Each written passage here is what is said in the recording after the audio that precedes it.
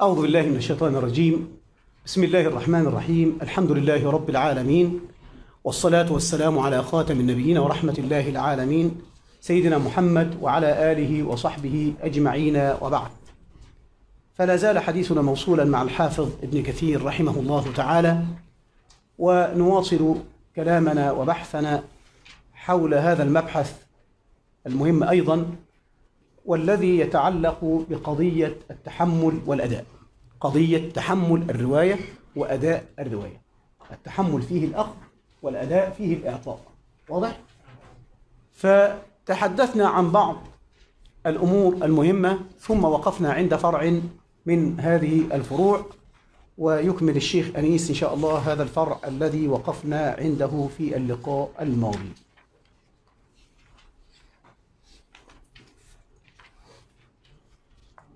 تفضل يا شيخ بسم الله الرحمن الرحيم. الحمد لله رب العالمين والصلاة والسلام على أشرف الأنبياء والمرسلين وعلى آله وصحبه أجمعين. قال المحق قال المصنف رحمه الله تعالى ونفعنا بعلومه وعلومكم في الدارين آمين. قال فرع قال ابن وهب والحاكم يقول فيما قرأ عليه الشيخ وهو وحده حدثني فإن كان معه غيره حدثنا. وفيما قرأ هو على الشيخ وحده أخبرني فإن قرأ غيره أخبرنا. يعني هذا الكلام أنه يصور لك الوضع الحقيقي الذي كان عليه الدرس في هذا الوقت. بمعنى أنه إذا كان الطالب يجلس مع الشيخ وحده فالأمانة أن يقول أخبرني وهذه فيها مزية اختصاص. هذه فيها مزية اختصاص. يعني تخيل أن العلاقة بينك وبين الشيخ أنك تقرأ عليه وحدك. هذه مهمة جدا. وأما إذا قرأت مع بعض الطلاب كما يقرأ الشيخ أنيس الآن وأنتم الآن معه يقرؤون على الشيخ فيعبرون بكلمة أخبرنا. وهذه فيها فائدة من ناحية أخرى. ليس فيها مزية الاختصاص التي سبق وبينا أنها تميز بها هذا الراوي ولكن هذه فيها بيان أنه لو وقع سهو أو خطأ من القارئ أو من الشيخ فربما أصلحه الحاضرون الذين يجلسون في مجلس الشيخ. فهذه أيضا فائدة أخرى من الفوائد التي تدل على صيغة الدرس وواقع الدرس والهيئة التي كان عليها مجلس التحديث في هذا الوقت. واضح يا كرام؟ تفضل الأمر الثاني أنه إذا قال حدثني إذن الشيخ يتكلم والطالب يسمع أما إذا قال أخبرني فعلى الذي سار عليه الجمهور أن الطالب يقرأ والشيخ هو الذي يسمع فيعبر عنه بكلمة أخبرني أما إذا قال حدثنا فمعناه أنه حدثهم الشيخ حدثهم وهم في مجموع من الإيه؟ الناس فإن قرأ غيره أيضا قال أخبرنا وقرأ وهو مع مجموعة من الناس قال ماذا؟ قال أخبرنا واضح يا كرام؟ فماذا قال ابن الصلاح؟ تفضل. قال ابن الصلاح وهذا حسن فائق فإن شك أتى بالمحقق وهو الوحدة حدثني أو أخبرني. عند ابن الصلاح والبيهقي. إذا إذا حصل الشك فلأن لا تصحب أحدا معك لأنه في حكم على الآخر. في حكم على الآخر أنه حضر معك. فأنت تقول أخبرنا مع أنك شككت هل كنت وحدك أو كان معك أنيس أو خضر أو فلان أو فلان أو فلان. لا تدري. أنت شككت في هذا الوقت. شككت؟ هل أنا كنت وحدي أم معي غيري؟ الأرجح في هذا أن نعود إلى قواعد علم الحديث. قواعد علم الحديث تدلنا على ماذا؟ على الاحتياط والحيطة وعدم الوقوع في الخطأ وإن مظنة الخطأ البعد عنها أولى. واضح يا كرام؟ فلذلك كان يجب أن تقول أخبرني كأنك تحكم على نفسك فقط ولا تحكم أنت على ماذا؟ ولا تحكم على غيرك. واضح؟ تفضل. وعن يحيى بن سعيد القطان يأتي بالأدنى وهو حدثنا أو أخبرنا. بعضهم يقول أن الأدنى كلمة حدثنا أو أخبرنا. أدنى من كلمة حدثني وأخبرني كما قلت لكم أن الأولى فيها مزيد اختصاص. ما قلت لك لما أقول حدثني الشيخ أحمد معبد إذا هو كأني كنت وحده مع الشيخ كنت وحدي مع الشيخ. هذا فيه مزيد اختصاص. أنت تغبطني على هذا. أما إذا قلت حدثنا يبقى إذا أنا كنت في مجموع من الناس. فلا, فلا مزية اختصاص فيها. صح؟ فهكذا. تفضل. قال الخطيب البغدادي وهذا الذي قاله ابن وهب مستحب. لا مستحق عند أهل العلم كافة. يعني أمر فرق بين الشيء المستحب وبين الشيء المستحق. لأن الشيء المستحب هو أمر مندوب إليه. يحبذ فعله نتمنى أن يحصل.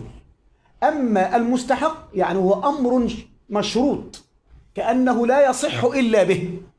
ففرق بين المستحب وبين المستحق. المستحق لا يتم الشيء إلا به. أما المستحب فيتم كمال الشيء به. يبقى المستحق ماذا؟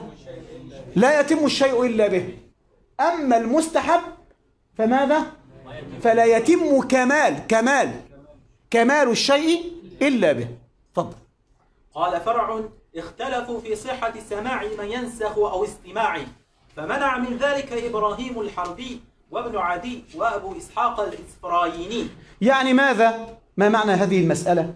يعني أنت الآن تسمع الدرس الشيخ يقرأ من كتابه أو من نسخته وأنت تسمع الدرس ومع ذلك تكتب. تسمع وتكتب. أو أحد الطلاب يقرأ والشيخ يسمع وأنت تكتب. فأنت الآن انشغل جزء من الذهن والعقل. بماذا؟ بالكتابة.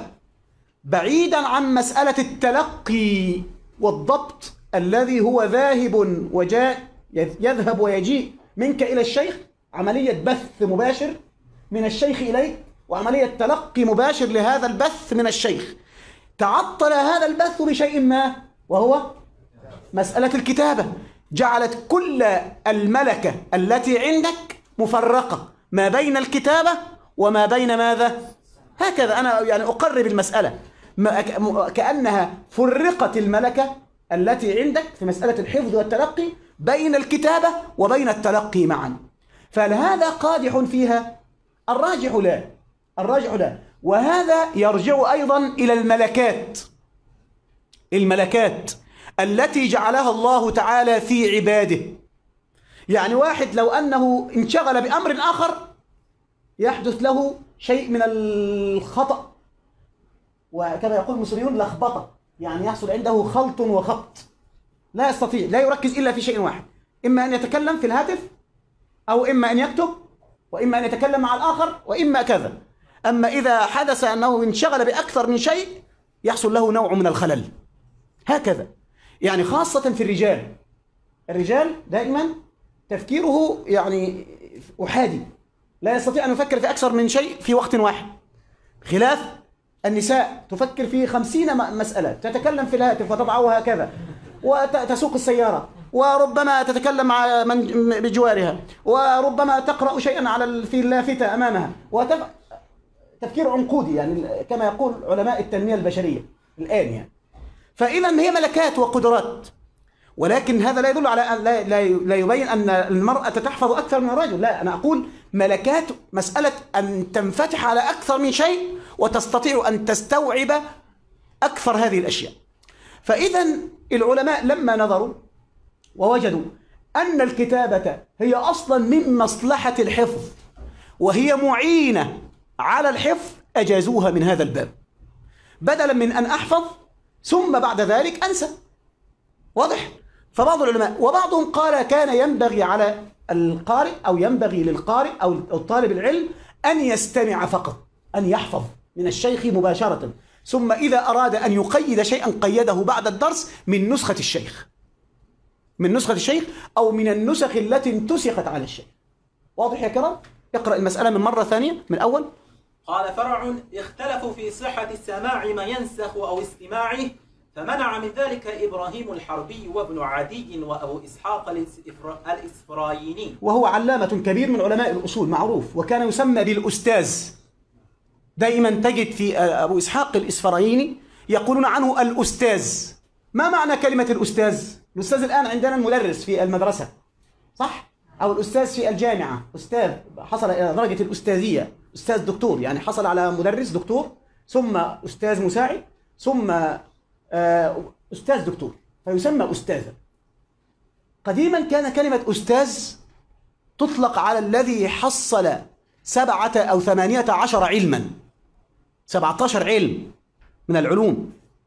تخيل سبعة عشر علم حصلها وأتقنها وأصبح فيها عالما يتكلم في هذا الفن كتكلمه في هذا الفن.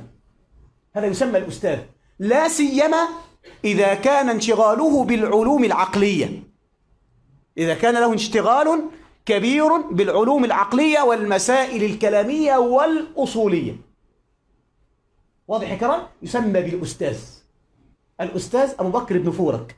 الأستاذ أبو إسحاق الإسفرايني. دائما تجد أنهم الرابط بين هؤلاء أنه تكلم في فنون كثيرة ويوجد عدة فنون وأيضا تجده أنه له في الجانب العقلي والجانب العقدي يتكلم فيه كثيرا. فيسمى بالأستاذ. كان ابن جماعة يقول أعرف أكثر من 12 علما أو أكثر من هذا؟ لا يعرف أهل عصري أسماءها. الاسم فقط حتى ما يعرفوش الاسم لا يعرفون الاسم. وربما يكون هذا الرقم أكثر من هذا هذا الذي أتذكره الآن. أنا أخذ على الأحوط كما حدثتكم من قبل. فعلوم كثيرة لا يعرف أهل العصر أسماء هذه العلوم. اسمها فقط الاسم العنوان. فما بالك أنت بالعلم نفسه؟ فهذه فتوح من الله سبحانه وتعالى. فالأستاذ أبو إسحاق وابن عدي وإبراهيم الحربي منعوا من ذلك. طيب ماشي. تفضل. وكان أبو بكر أحمد بن إسحاق الصبغي يقول حضرت ولا يقول حدثنا ولا أخبرنا. هذا من شدة ورعه. أنه إذا كتب في مجلس الدرس يقول حضرت. ويفرق العلماء بين الحضور وبين السماع. لأن الحضور غالبا يكون للصغير كما تكلمنا قبل ذلك. هناك فرق بين السماع والحضور. حينما يقول السيوطي حضرت على الحافظ ابن حجر. ولا يقول السيوطي أبدا سمعت من الحافظ ابن حجر. أو حدثنا الحافظ ابن حجر. لماذا؟ لأنه لما أتى به أبوه كان السيوطي صغيرا في السن أقل من سن السماع وهو الخمس سنوات. فلم يكن في هذا الوقت قد تأهل للسماع من الشيخ. فلذلك الذي هو أقل من خمس سنوات أو أربع سنوات هكذا يسمى حضوره في المجلس يكتب حضور. يعني مثلا نحن نكتب الآن الطباق. الطباق ما هذا؟ سجل السماع سجل الإجازة على الكتاب. يسمى الطباق عند علماء التحقيق. عند علماء التحقيق. وطبعا أخذوه من من؟ من المحدثين. فيكتب أنه سمع هذا المجلس. كتاب الباعث الحثيث. مثلا الشيخ أنيس والشيخ خضر والشيخ أندي والشيخ فقيه والشيخ أحمد والشيخ إبراهيم وعبد الله وعبد الرحمن وإسحاق وكذا. سمعوا كذا. وحضر الطفل فلان ابن فلان ابن فلان. وحضرت الطفلة فلانة بنت فلان. واضح يا كرام؟ حضرت. يسمونه إيه؟ حضورا. لماذا؟ لأن سنهم لم يكن في سن الإيه؟ السماع. واضح يا كرام؟ طيب. لذلك هو من شدة ورع قال طالما أنني سأكتب سأنزل بدرجة تحملي درجة. إلى درجة الحضور وكأن ما أفعله الآن هو حضور وليس بسمع تفضل. قال وجوزه موسى بن هارون الحافظ. طبعا موسى بن هارون الحمال هذا إمام كبير صاحب أسانيد عالية وأسانيد صحيحة وفيه هناك رسالة علمية في طبعت في الكويت. عن موسى ابن هارون الحمال في مجلد ضخم. واضح؟ وأس... وأحاديثه وأسانيده. تفضل. قال وكان ابن المبارك ينسخ وهو يقرأ عليه. ابن المبارك إمام الآئمة والعالم الورع المعروف يعني ورع وإمامة وإتقان وحفظ المتوفى سنة 181 هجرية. مولود سنة 118 هجرية. الشيخ ابن المبارك عبد الله بن المبارك كان ينسخ وهو يقرأ وهو يقرأ عليه. يعني ماذا يفعل؟ يعني أحيانا العالم لا يفصح بالمقال ولكن يفصح بالحال أو بالصنيع. حاله هو الذي يفصح عن حاله عن عن قوله وعن اختياره. لولا أنه يرى الجواز ما فعل هذا. تفضل. قال وقال أبو حاتم كتبت عند عارم وعمرو بن مرزوق عارم طبعا معروف عارم بن فضل هو أحد رجال البخاري. تفضل. وحاضر الدار وعارم سمي عارما لأن في خلقه عرامة شدة. كان قاسي على الطلاب شوية عنده قسوة وغلظة يعني شوية فكانوا يسمونه عارم. شديد. لا يتحمله إلا يعني الطلاب النجباء. وهكذا ينبغي على الطالب أن يتعلم. يعني هو ال- ال- العلاقة التي بينه وبين الشيخ الإفادة. فربما يكون الشيخ عسرا كأبو بكر بن عياش مثلا. والأعمش لو أنك قرأت آه، في فضائل أصحاب الحديث أو فضل أصحاب الحديث للشيخ آه، أبو بكر الخطيب البغدادي رحمه الله تعالى الإمام الكبير رحمة الله عليه لوجدت أنه لما تكلم عن هؤلاء العلماء بين أن لهم مناهج. منهم الشديد العسر في القراءة والرواية كأبي بكر بن عياش. والأعمش. ولهم قصص طبعا مشهورة وكنت قد يعني سقت قبل ذلك بعض هذه الأقاصيص وهذه ال- ال- ال- الح- الحكايات التي نقلت عنه. فعارم ابن الفضل رحمه الله تعالى وعمرو بن مرزوق ماذا فعلوا؟ اقرأ يا شيخنا كده. وقال أبو حاتم كتبت عند عالم وعمرو بن مرزوق في بعض النسخ كتبت حديث عارم في بعض النسخ كتبت حديث عارم. تفضل. وقال أبو حاتم كتبت عند عالم وعمرو بن مرزوق وحاضر الدار قطني وهو شاب فجلس طب الدار قطني طبعا أول ما تسمع اسم الدار قطني ينبغي أن يتنبه عقلك تنبها شديدا. إمام الصنعة. إمام الصنعة الحديثية إذا ذكر الدار قطني فهو إمام الصنعة بلا منازع. تفضل. قال فجلس إسماعيل الصفار وهو يملي نعم. والدار قطني ينسخ جزءا. فقال له بعض الحاضرين لا يصح سماعك وأنت تنسخ استشكلوا عليه. كيف أنت تكتب الجزء وراء الشيخ أو تكتب والش- والشيخ يقول؟ ماذا تفعل؟ هذا ضياع وتشتيت للذهن. إنك لن تستوعب ولن تستحضر ما يقوله الشيخ. انظر ماذا رد عليهم ردا مفحما عمليا. تفضل. فقال فهمي للإملاء بخلاف فهمك. انظر هي ملكة. لا ليس الكل سواء. أنا مختلف. هكذا يقول كأنه يعني ملكاتي الحمد لله تختلف عن ملكاتك. طريقتي غير طريقتك. لا تحملني على طريقتك. فماذا قال؟ فقال له كم أملى الشيخ حديثا إلى الآن؟ أراد أن يختبره. طيب إذا كنت صادقا كم أملى الشيخ حديثا إلى الآن؟ وأنا أجلس وأكتب وراء الشيخ ومستحضر. لا أنشغل بأي شيء آخر. انظر ماذا قال. فقال الدار قطني ثمانية عشر حديثا ثم سردها كلها عن ظهر قلب بأسانيدها ومتونها فتعجب الناس منه. والله أعلم. انظر إلى هذا.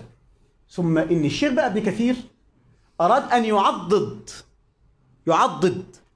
هذه القصة حتى لا يشك فيها أحد من الناس أراد أن يعضدها ب بموقف حصل معه شخصيا مع شيخه المزي. فماذا صنع؟ تفضل.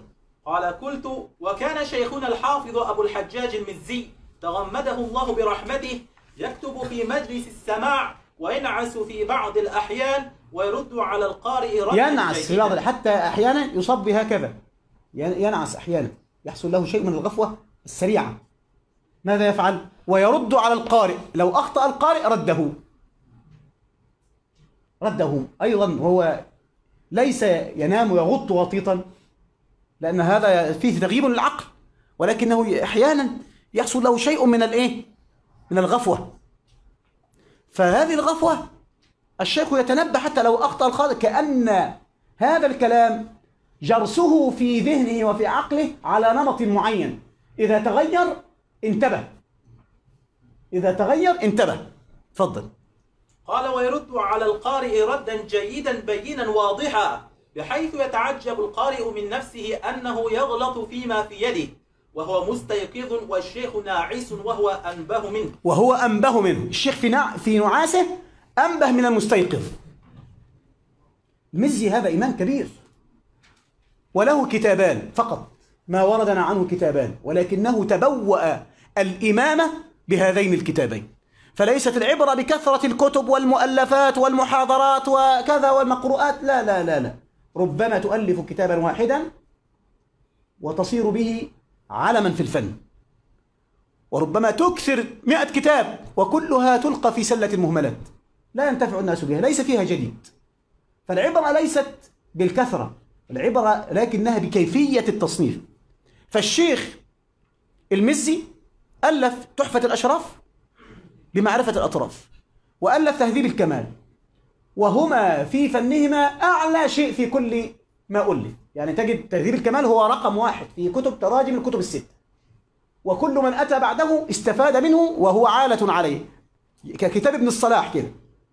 في أنه كتاب عمدة المصطلح أيضا عمدة كتب الرجال في أسماء ورواة الكتب الستة هو تهذيب الكمال للإمام المزي وطبع طبعا طبعة طبعة كبيرة جدا في أكثر من 30 مجلدا. ومطبوعة موجودة في مؤسسة الرسالة ثم طبعت طبعة مضغوطة في ثمانية أجزاء. القطع الكبير. واضح يا كرام؟ طبعا 35 مجلد. طبعا هنا تغلق هذا المكان. هذا كتاب واحد. واضح؟ تفضل. قال ذلك فضل الله يؤتيه من يشاء. فضل الله يؤتيه من يشاء. تفضل. قال قال ابن الصلاح وكذلك التحدث في مجلس السماع. وما إذا كان القارئ سريع القراءة أو كان السامع بعيدا من القارئ ثم اختار أنه يغتفر اليسير من ذلك وأنه إذا كان يفهم ما يقرأ مع النسخ فالسماع صحيح. يبقى الضابط إيه بقى؟ ضع تحت هذه خمسة خطوط. ليس خمسة بالضبط يعني. أنا أنا أريد أن أنبهك إلى أنه ينبغي أن تتنبه. وأنه إذا كان يفهم ما يقرأ مع النسخ فالسماع صحيح. يبقى إذا هذا يرجع إلى ماذا؟ إلى تفاوت الملكات. فمن كانت ملكاته لا يستطيع أن يفعل هذا وهذا في عصر الآن لا يمكن. لا يمكن. بس أنت الآن عندك أشياء تعوضك. التليفون التليفون يسجل والبث يذيع الشيء نفسه. وهكذا أصبحت هناك أشياء أخرى. ولكن في عصر الرواية سبحان الله أنه تأخرت هذه الأمور حتى تحصل هذه الأحداث التي فيها حفظ للسنة وهذه الجهود حتى يحصل هؤلاء على الأجر الكامل في حفظ وصيانة السنة النبوية الشريفة. ولأنه لمثل هذه الأشياء يحصل فيها التدليس تركيب الأصوات وغير ذلك فيقول هذا صوت المحدث لا هذا صوت غيره هذا كذا هذا كذا. أما قديما فكانت شهادة الرجال على بعضهم البعض هي القائمة. أما لو كان الاعتماد مثلا على الإنترنت على الصوتيات والمرئيات والبرمجيات هذه يحدث فيها العبث. فربما حصل تشكيك في السنة بسبب هذا. فسبحان الله الذي حفظ السنة وحفظ لها أجواءها التي تعيش فيها وتنتعش. تفضل. قال وينبغي أن يجبر ذلك بالإجازة بعد ذلك كله. آه ما معنى هذا؟ أحيانا أحيانا الشيخ يقرأ كتابا على الطلاب. يقرأ هو من من لفظه أو أن الطالب يسمع من الشيخ. الطالب يسمع من الشيخ أو يقرأ على الشيخ. يبقى إذا سواء كان الشيخ الذي يتحدث أو الطالب هو الذي يقرأ. أحيانا يحصل للطالب فوت. انكسر القلم الذي يكتب به فبدأ يبحث في حقيبته عن قلم. أو بدأ يأخذ من جاره أو حصل له أي شيء نعاس أو حصل شيء أراد أن يدخل إلى الخلاء لشيء ضروري ألم في معدته فماذا يصنع؟ يأتي يحدث له فوت ربما في حديث أو حديثين فينبغي ينبغي عليه أن يحرص على أخذ الإجازة من الشيخ لماذا؟ لأن هذا الحديث لم يسمعه من الشيخ مباشرة. فبماذا يروي أو كيف يرويه؟ لا يستطيع أن يرويه إلا بطريق صحيح معتمد من طرق التحمل. طيب الإجازة. تجبر هذا الحديث الذي حصل له الإيه؟ فيه الفوت. وأما بقية الأحاديث الأخرى فهو قد سمعها والسماع أعلى من الإجازة. السماع أعلى من الإجازة. ولذلك تجد أن بعض نسخ البخاري تجد في رواية مثلا حماد بن شاكر ورواية الفرابري تجد بينهم نسخة فرق 200 حديث.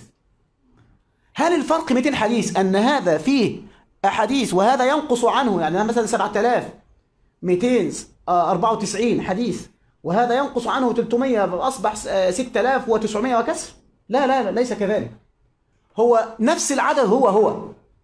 ولكن هذا كله مسموع للفرابري وهذا حصل له أنه أخذ منه هذه العدد هذا هذا العدد من الأحاديث بماذا؟ بالإجازة بالإيه؟ بالإجازة هذا نبه عليه بعض العلماء هذا نبه عليه بعض العلماء فإذا أراد أن يجبر النقص الذي حصل له في السماع للرواية فأخذ الإجازة حتى تجبر هذا الإيه؟ هذا النقص وهذه هي فائدة الإجازات وإلا فالإجازة كما سنعلم بعد ذلك أحيانا لو أن الطالب اعتمد على أخذ الإجازات فقط ضيع العلم لذلك قال بعض العلماء لو صحت الإجازة بطلت الرحلة ما معنى ذلك؟ لو صحت الإجازة يعني لو كان العلم بالإجازات فقط أنا أخذ هنا إجازة والنهاردة في مش عارف مجلس كذا يقرأ كتاب وهنا في مجلس يقرأ كتاب وهنا مجلس يقرأ كتاب وأنا كل يوم أخذ ورق معي وأوقع والإجازة أخذها كذا وأخذت مئة إجازة في حقيبتي. وأنا لم أتعلم مسألة واحدة. طالب يريد أن ننتهي من الكتاب في مجلسين أو ثلاثة. طب وماذا حصلت بعد ذلك؟ ستأتي لتخرج حديثا؟ تقف. تدرس إسناد؟ تقف. تحكم على راوي؟ تقف. أما ما نفصل الآن هو الذي سيفيدك حين تتعرض لهذا. فماذا يصنع الطلاب؟ يريد أن يحصل الإجازات إجازات إجازات. كأن العلم الإجازة أنا معي 200 إجازة وأنا معي 50 إجازة. وأحد الطلاب قال مرة والله واحد اتصل بي أراد أن يقرأ عليه هذا الكتاب. فقال يا شيخ أنا أريد أن أقرأ عليك. ولكن أنا يعني أحب العلماء. قلت له أنا يا ابني أنا لست من العلماء أنا طالب علم. والله أنا طالب علم فعلا. فقال أنا يا شيخ الحمد لله معي 200 إجازة. 200 إجازة. 200 قلت له أنا معي عشر إجازات. ولا أصلح لك يا مولاي أنا الذي أقرأ عليك. يعني أنت أنت وأنا أقرأ عليك. أنا الذي أقرأ عليك. حتى أحصل منك على الإجازة. أه والله هذا حصل معي. فقلت له أنا الذي أقرأ عليك. لأنك معك 200 إجازة. أنا أريد أن أتعلم. أكيد أخذت من كل شيخ شيئا. قال لا هذه إجازة. كل شيخ ينزل إلى هنا القاهرة. أوقع أوقع أوقع أوقع. فما هي الفائدة؟ إذا لا نقلل من قيمة الإجازة إذا أخذت بشرطها. كانت لمتأهل. وكان لها يعني ظروفها. يعني مثلا أنت أحيانا كنت في سفر مثلا وتقابل شيخا من الشيوخ لن تقابله بعد ذلك. فالأفضل أن تقرأ عليه مثلا مسلسل بالأولية أو مثلا تأخذ عليه بعض المسلسلات ثم توقع منه الإجازة واضح؟ أما أن تكون هذه مصدر العلم فلذلك قال لو صحت الإجازة لبطلت الرحلة. بطلت الرحلة يعني إيه؟ العلماء الذين رحلوا إلى البلدان و يعني عاشوا أياما صعبة وظروفا شديدة وعانوا في رحلتهم من شظف العيش وقلة الطعام والصبر على الحياة من أجل التعلم من الشيوخ لكي يحصل منه الحديث ويأتي بالسماع والدراسة والفهم والفقه والرواية والدراية لو كان العلم بالإجازات لا لما سافر أحد ولما أتعب أحد نفسه أبدا في العلم ولا كان يجلس في بيته يا شيخ أنيس لو سمحت أنت تذهب إلى ماليزيا أو أندونيسيا اذهب لي بعشرين إجازة من بلاد الجاوة. والشيخ خضر من أي بلدة من بلاده يأتي لنا وهذا من باكستان أو يأتي لنا بعشر إجازات والواحد يجلس في البيت وعنده إجازات تأتي إليه ليلا ونهارا هذا ليس هو العلم. لبطل العلم أو لبطلت الرحلة. يعني لبطل اجتهاد الطلاب الذين يريدون أن يتعلموا العلم على حقيقته من شيوخه واضح؟ تفضل. قال قلت هذا هو الواقع في زماننا اليوم. تخيل يتكلم عن واقع زمانه فما بالك لو رأى زماننا؟ لبكى بالدم. تفضل. أن يحضر مجلس السماع من يفهم ومن لا يفهم. نعم. والبعيد من القارئ والناس والناعس والمتحدث. والصبيان الذين لا ينضبط أمرهم بل يلعبون غالبا. ولا يشتغلون لمجرد السماع. وكل, وكل هؤلاء قد كان يكتب لهم السماع بحضرة شيخنا الحافظ أبي الحجاج المزي رحمه الله. آه هنا نقطة مهمة. الشيخ فيصل قاعد يجلس. ويريد أن يسألني سؤالا. يقول وهل هذا يجوز في العلم أن أطفال وبعض الناس الذين يتشاغلون عن الدرس ويكتب لهم السماع مش حضور السماع بمجلس الحافظ أبي الحجاج يوسف المزي رحمه الله تعالى جمال الدين وهو إمام الأئمة. أنت كنت تقول أنه إمام الأئمة كيف يحصل معه هذا؟ آه القضية هنا يا كرام القضية هنا يا كرام ما الذي حصل؟ هذا في زمن المتأخرين. تأخر الزمان ودونت الكتب ولا يوجد شيء يزاد في الرواية جديدا. يعني لن, لن تزيد أنت رواية تضعها مثلا كسنن أبي داود أو تجعل مسندا ليس موجودا قبل ذلك. أنت ما لك إلا رواية هذه الكتب فقط. عصر رواية لا عصر دراية وتأليف وتصنيف جديد في كتب أو في روايات وأحاديث لم تكن موجودة. يعني أنت ماذا تصنع؟ أنك تروي مسند أحمد وهو مكتوب. وتروي مسند سنن أبي داود وهي مكتوبة. وتروي جامع الترمذي وهو مكتوب ومقيد. وتروي الطبراني وهو مكتوب ومقيد. خلاص كتب محفوظة. أنت ما لك إلا الرواية فقط. ففي هذه المسائل يتساهل فيها العلماء. يتساهل فيها العلماء. حتى لا تنقطع مجالس التحديث. حتى لا تنقطع مجالس التحديث. ففي مثل هذا يتساهل لأنه لن يترتب عليها أثر لا في التصحيح ولا في التضعيف ولا في قبول الرواية ولا في ردها. واضح؟ تفضل. قال وبلغني عن القاضي تقي الدين سليمان المقدسي أنه زجر في مجلسه الصبيان عن اللعب فقال لا تزجروهم فإن إنما سمعنا مثلهم. نعم. وقد روي عن الإمام العالم عبد الرحمن بن مهدي أنه قال يكفيك من الحديث شمه. شمه يعني أن تكون قريبا منه أو سميعا أو أن تكون سامعا له حتى ولو كنت يعني في مجلس في آخر الدرس تسمع يعني سماعا خفيفا. أنك في نفس المكان الذي فيه ينعقد فيه الدرس. يعني أقل شيء يحصل به حضورك في المجلس. واضح؟ شمه كما تشم الشيء الذي إيه؟ يكون بعيدا. الرائحة تكون بعيدة أحيانا. تفضل. وكذا قال غير واحد من الحفاظ. وقد كانت المجالس تعقد ببغداد وبغيرها من البلاد تجتمع الفئام من الناس بل يعني العدد. الكثير من الناس. ويسعد مختلف. ويسعد المستملي على الأماكن المرتفعة. المستملي طبعا لم يكن هذا ال- المايك والميكروفون موجود قبل ذلك.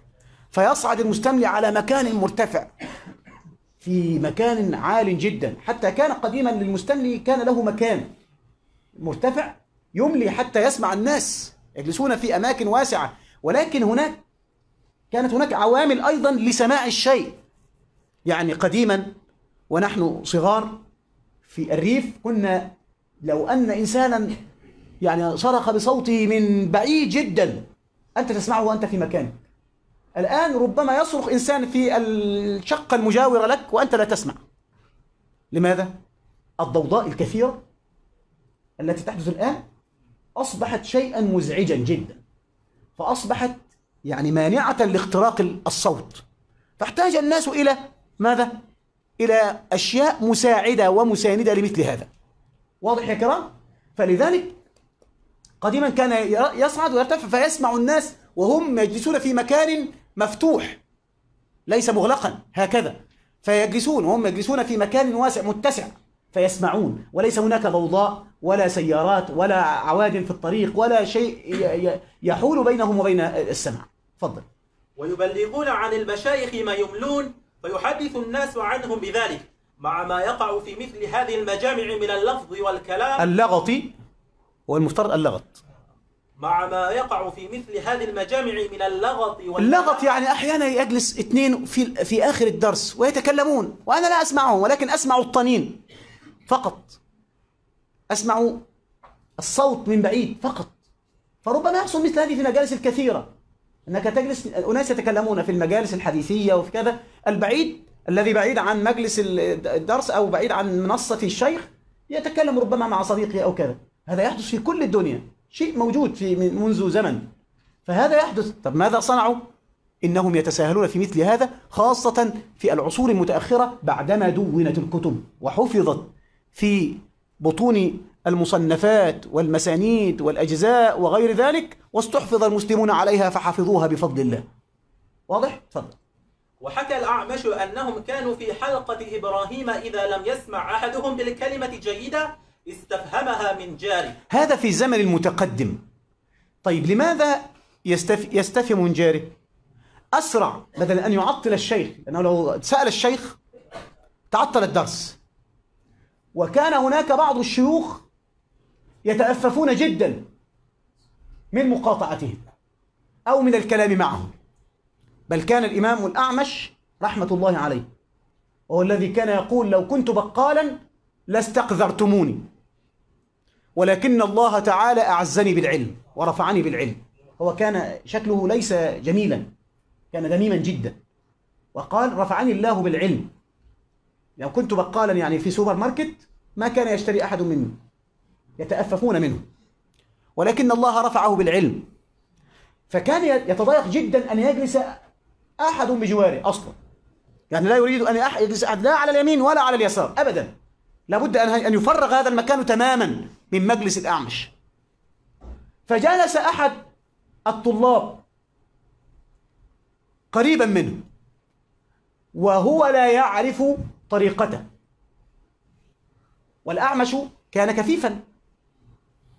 كان كفيفا. سليمان بن مهران الأعمش حافظ الثقة.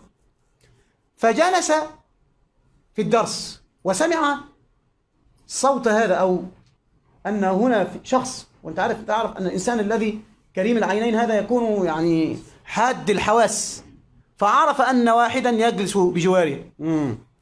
فجلس يتنخم ثم يبصق عن يساره وهو كان يجلس على يساره. فكلما جاء جاءت النخامة عليه وهو لا يستطيع أن يتكلم لأنه لو تكلم لماذا صنع بهم؟ لقام وقطع الدرس. فلو قطع الدرس لقام الطلاب عليه ربما ضربوه. أنت السبب في في قطع الشيخ الدرس. فظل صابرا حتى انتهى الشيخ من التحديث. وما عاد إليها مرة ثانية. يعني إيه؟ مرت خلاص تاب تاب وأناب. فإذا القضية في إيه؟ إن هذه الأشياء الشيخ لا لا يقطع درسه ولا يقطع في الكلام. إلا إذا كانت من طبيعة الشيخ أنه يسمح بهذا. واضح يا كرام؟ لأنه أحيانا يتشتت الشيخ. ذهنه ينسى المسألة التي كان يتكلم فيها قبل ذلك. إذا أنت ألقيت إليه بسؤال وهذا يلقي إليه بسؤال فربما تعطل الدرس ولا يعطي الشيخ أي شيء من المعلومات. فمثلا هذه القضايا ونحن لا نقول هذه القضايا حتى نتمثل بها وأن نفعل هذا. هذه كانت أخلاق تحفظ. تحفظ ولا يقاس عليها كما يقولون في علم اللغة.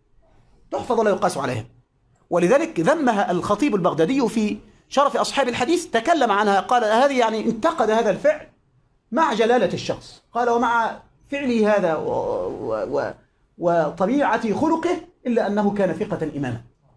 خلاص. يعني نتحمل من أجل أنه إمام وثقة وحافظ.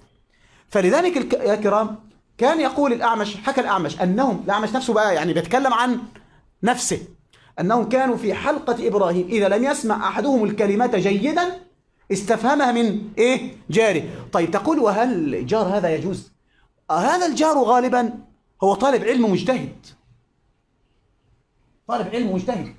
والطالب أصلا ما جاء وسافر من بلده إلى هذا المكان إلا للحرص على طلب العلم. فإذا أراد أن يستوثق من لفظة هل يأتي إلى أي أحد من الناس يقول له ماذا قال الشيخ؟ ولكن ينتقي أذكى الطلاب وأفضل الطلاب الذين يجلسون بجواره ويسألهم. هذه كانت طريقتهم وطبيعتهم. واضح؟ تفضل. قال قلت وقد وقع هذا في بعض الأحاديث عن عقبة بن عامر وجابر بن سمرة وغيرهما فهذا هو الأصلح للناس وإن كان قد تورع آخرون وشددوا في ذلك وهو القياس. والله أعلم. يعني القياس يعني هو الأفضل والذي ينبغي أن يقاس عليه التشدد في مثل هذه الآية في مثل هذه الأمور لأنه أحيانا ربما يكون تلميذك أو التلميذ الذي يجلس بجوارك ربما يكون قد سهى أو ربما غفل أو ربما سمع خطأ. واضح؟ فربما يجيبك بكلمة لا تكون موثقة. ولكن كان عهدهم أنهم كانوا لا يقتصرون على مثل هذا فقط. بل كانت هذه أحد الأمور التي يحاولون أن يسدوا بها ثغرة الكتاب يعني أو ثلمة الكتاب. بل إنهم يسأل وربما يراجع النسخة الشيخ التي انتسخت عليه فيراجعها بعد الدرس. لهم أساليب وطرق كثيرة جدا ونحن قد قرأنا قبل ذلك أنه لابد أن يختم الكتاب. ختم الكتاب هذا معناه الاعتماد. اعتمد الكتاب. بعد ماذا؟ بعد المراجعة والقراءة. واضح؟ تفضل. قال فرع ويجوز السماع من وراء حجاب كما كان السلف يروون عن أمهات المؤمنين. واحتج بعضهم بحديث حتى ينادي ابن أم مكتوم. يعني أحيانا كانت شيخات الحديث تجلس وتدرس الحديث وهي تضرب حجابا بينها وبين طلاب الحديث. ولذلك بعض العلماء لما تكلم في محمد بن إسحاق وقال من أين سمع؟ من زوجتي. وطعن في سماعه منها. فقال العلماء إنه سمع منها من وراء حجاب وهو لم يرى هو يجلس في في بيته مع زوجته أو ربما كان خارج البيت وهو هذا الشخص الشيخ محمد بن إسحاق سمع منها من وراء حجاب. وهذا موجود كان موجودا قديما يعني. كريم المروزية كان يأتيها طلاب الحديث من جميع الأرض. وهي كانت إحدى الشيخات التي تحملن صحيح الإمام البخاري بسند عال وكانت ضابطة متقنة. وكان يأتيها الطلاب من كل مكان. أمنا عائشة رضي الله عنها كان يدخل عليها أصحاب النبي صلى الله عليه وسلم فيسألونها من وراء حجاب. واضح يا كرام؟ فهذا كان أمرا سائغا. فيجوز طالما أنه الصوت تميز أن هذا صوت الشيخ. ثم هناك أيضا ملكاتك تعرف القراءة الصحيحة. من الذي يقرأ وكذا وكذا؟ إذا الإنسان عنده العلم يحتاج إلى ذكاء. العلم يحتاج إلى ذكاء. فأنت وأنت تسمع من الشيخ تستطيع أن تعرف أن هذا صوت الشيخ من ليس من صوته في الحنجرة فقط بل من طريقة أدائه بل من طريقة كلامه بل من كثرة أمثلته التي يذكرها دائما من طبيعته من لوازمه في الكلام أحيانا التي يقولها. واضح؟ زي كلمة واضح الآن دي. دي من لوازم فتعرف بها صوت الشيخ. إذا كنت أصلا أحيانا حينما تنمى عندك الملكات ربما لو أنه أنك أعطيت كتابا وقرأت فيه عرفت من مؤلفه من غير أن تقرأ عنوان الكتاب. من طريقة الأسلوب خاصة لو كان إماما معروفا وأنت في هذا الفن فأنت ربما إذا قرأت في كتابه عرفت أنه فلان. هذه تأتي بماذا؟ من طريقة الأسلوب. وما لك إذا كانت هذه في الكتابة فما بالك بالصوت؟ تمام؟ تفضل قال وقال بعضهم عن شعبة إذا حدثك من لا ترى شخصه فلا ترويه عنه فلعله شيطان قد تصور في صورته. يعني هذا يعني بعيد. شيطان ليس فاضيا يعني ما ليس عنده وقت حتى يأتي ليجلس ليحدث يعني. ويحدثك بأمور أخرى غير هذا. يعني من طلب الحديث أفلس. يعني الشيطان يرغبك في الدنيا لا يرغبك في أن تكون مفلسا. من طلب شعبة يقول من طلب الحديث أفلس. يعني اللي يطلب الحديث يفلس لا يكون معه فلوس. ليه؟ لماذا؟ يشتري الكتب ويرحل إلى المشايخ وكذا وكذا. ليس عنده مال إلا القليل. تفضل. قال فلعله شيطان قد تصور في صورته فيقول حدثنا أخبرنا. وهذا عجيب غريب جدا. قال فرع إذا حدثه بحديث ثم قال لا ترويه عني أو رجعت عن استماعك عن إسماعك. الصواب الصواب عن إسماعك. أو رجعت عن إسماعك ونحو ذلك ولم يبدي ولم يبدي مستندا سوى المنع اليابس أو أسمع قوما فخص بعضهم وقال لا أجيز لفلان أن يروي عني شيئا فإنه لا يمنع من صحة الرواية عنه. والتفات إلى قوله. وقد حدث النسائي عن الحارث بن مسكين والحالة هذه وأفتى الشيخ أبو إسحاق الإسفرايني بذلك يعني أنت تجلس في مجلس مع شيخ وبعد انتهاء المجلس وحضرت الدرس قال الشيخ لك يا فلان لا يجوز لك أن تروي عني هذا وسماعك عني غير صحيح لقد أبطلت سماعك هل يجوز هذا؟ أصلا الواقع لا يرتفع هل تم السماع أم لا؟ هناك حتى قاعدة أصولية تقول الواقع لا يرتفع. يعني الآن نحن جلسنا الآن هل أحد يستطيع أن بعد المغرب يأتي فينكر أنه كان هنا بعض الناس يجلسون في الدرس وكان موجودا لا يوجد أحد؟ الواقع لا يرتفع. فكذلك الدرس أو السماع من الشيخ. أنت سمعت من الشيخ. والشيخ ربما لشيء ما يتضايق منك. وجد أحد الطلاب الذين لا يحبهم الشيخ ولا يرتاح إليهم. يشغب على الشيخ كثيرا. مثلا فأراد الشيخ أن يقول له جلوسك معي لا لا أجيزك بهذا بما سمعت مني. هذا ليس بمعتمد عند العلماء. يجوز له أن يروي. ولو روى قبل العلماء منه روايته. إلا لسبب. إلا لسبب. كأن يكون هذا الطالب غير عدل. والشيخ يعرف هذا يقينا من غير ظن. أنه مثلا أنه هذا الإنسان تلبس مثلا ببدعة مفسقة. أو أنه كان يصر مثلا على فعل شيء محرم والشيخ نهاه أكثر من مرة ولم يمتنع. مثلا. فهذه تكون هي الوحيدة أو أنه الشيخ يعرف أنه يخلط في الرواية. وأنه سيء الحفظ جدا. وفاحش الغلط. فيقول له يا أولي أنا لا أجيز سماعك لأنك أصلا لن يقبل منك أحد هذا. فإذا حتى لو بحثنا ليس منع الشيخ هو العائق والمانع من قبول روايته بل العائق والمانع من قبول روايته حال هذا الشخص أصلا. حتى لو أجازه الشيخ وقال لك أبحت لك وأجزت لك وإني أحبك وإن كل ما رويته ولك وأنت غير عدل فلا فائدة. لن يقبل أيضا منك وأنت فاحش الغلط لن يقبل منك فإذا فعادت المسألة في أصلها إلى ماذا؟ إلى المسألة الأولى وإلى القاعدة الأولى أنه لا يجوز للشيخ أن يقول هذا ولو قاله لم يصح منه واضح؟ تفضل والدليل على ذلك أن النسائي لما دخل عند الحارس بن مسكين وهو يروى عنه كثيرا في السنن يقول حدثنا الحارث بن مسكين قراءة عليه وأنا أسمع. قراءة عليه وأنا أسمع. لأنه لما دخل على الحارس المسكين يعني استهجن شكله وضايق منه وظن أنه جاء يعني ينقل أخباره وكذا فيعني طرده من المجلس.